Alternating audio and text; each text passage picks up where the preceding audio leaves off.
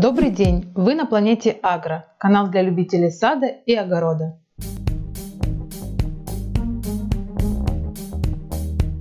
Матадор – производитель Укровит, инсектицид для обработки посадочного материала картофеля и овощных культур перед посадкой. Для обработки картофеля 30 мл препарата разводим на 500 мл воды, разлаживаем посадочный материал и опрыскиваем сверху.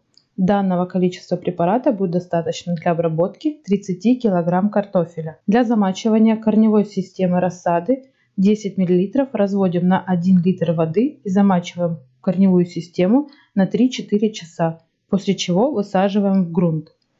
Подписывайтесь на наш канал на YouTube, ставьте колокольчик, дальше будет больше интересного.